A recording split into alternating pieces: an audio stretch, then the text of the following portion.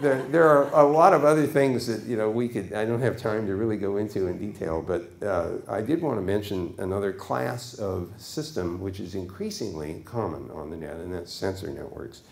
Um, and I want to give you an example of, of one of them. I'm running an IPv6 wireless network in my house. It's used to instrument every room, and every five minutes it collects temperature and humidity uh, information and light levels. And that gets recorded every five minutes for every room in the house.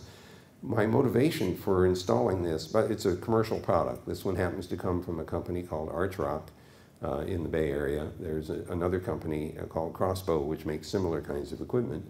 So these are becoming commercially available. This is not a, a science project in the garage or anything. This is, is real uh, uh commercial quality stuff part of my motivation for putting this uh, thing together was to have a year's worth of data about the heating and cooling in the house so that at the end of the year I could go over this with the building engineer and talk about whether the heating and cooling system had done its job well. Did I get reasonably uniform uh, cooling or reasonably uniform heating or not? And if not, then you know what changes should be made to uh, the way the system was working. But there is one room in the house which is particularly sensitive. It's the wine cellar. And this needs to be kept below 60 degrees Fahrenheit and preferably 60% humidity so the corks don't dry out. Uh, so that one has been alarmed. And if the temperature goes above 60 degrees, I get an SMS on my mobile saying, you know, that the, we breached the 60 degree mark.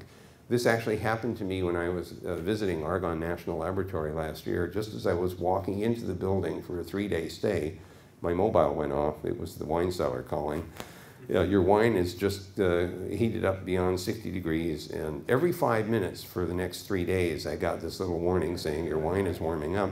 Unfortunately, my wife was away on a holiday, and so she couldn't go and, and repower the cooling system.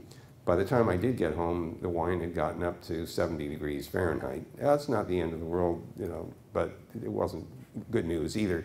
So I uh, called the Arch Rock guys and they said, hey, do you guys make actuators as well as sensors? And the answer was yes. So one of the projects is to install the actuator so I can remotely turn the cooling system back on again uh, while I'm away. Uh, now that obviously has to be access controlled because I don't want the 15 year old next door to turn my cooling system off while I'm away. You know, I don't need that kind of help. Um, uh, so I thought, well, you know, there's other information that I can get from observing the data that's being collected from the wine cellar. For example, if somebody goes in and turns the lights on, I can actually detect that because the changing light level should, should be signaled.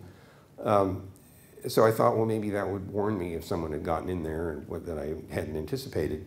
But uh, I, you know, it doesn't tell me anything about when, whether any wine had left the wine cellar without my permission.